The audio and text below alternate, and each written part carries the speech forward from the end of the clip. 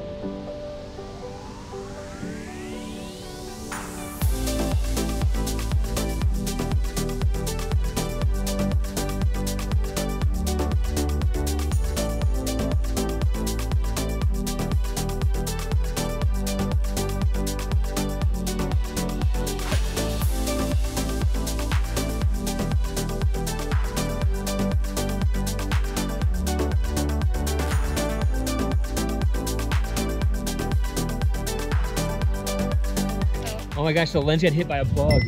Oh no! Out of all the things. Oh, that's a slow TV fail. Off in the distance, you can see Shiprock. Shiprock is a famous volcanic neck in New Mexico. It protrudes out of the desert surface like a mirage of a distant boat.